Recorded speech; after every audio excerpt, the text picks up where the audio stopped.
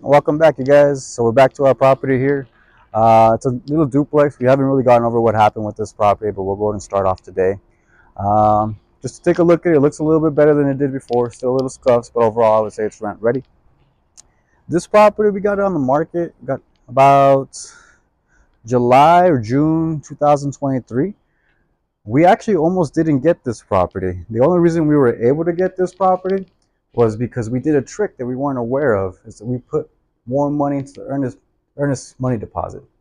We actually beat out people who were thirty, forty thousand dollars over us because of this trick. So if you're ever thinking about buying a property, think about adding more to the earnest. They'll see you as a lot more of a serious investor. Come on in, you guys.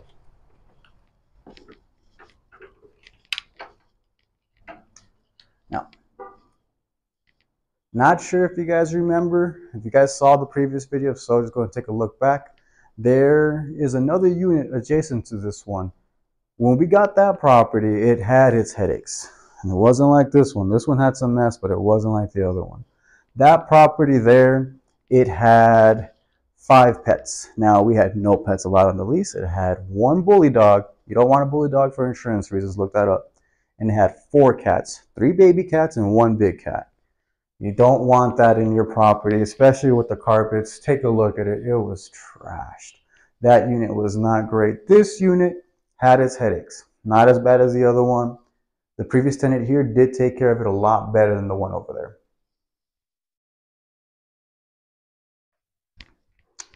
Now, with the other unit, we had broken windows. We had AC problems.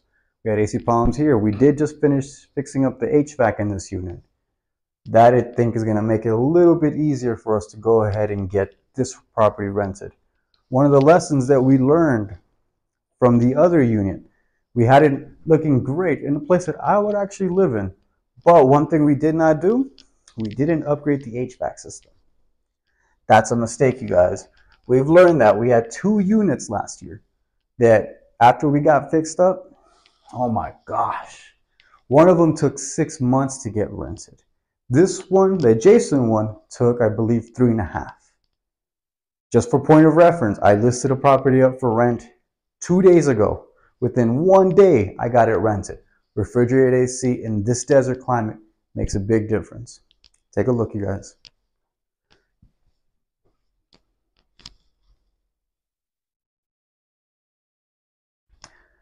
Now, we did get lucky with this property.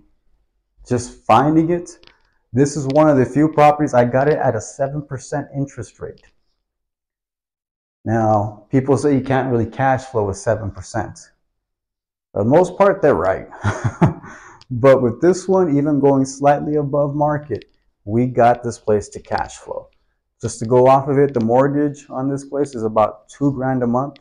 With this thing fixed up, with the new HVAC on this side, not on the other side yet, we will be cash flowing a little under $400 a month on this duplex. That's not a bad thing, seriously. Come on in. Not sure if you remember, but we got a new refrigerator. New to us, but definitely better than the previous one. I would say it's considerably better than it was before. Hope you guys are liking this. If you have questions, feel free to ask.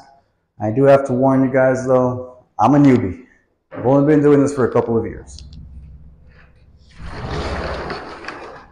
Let's go take a look at the outside, you guys.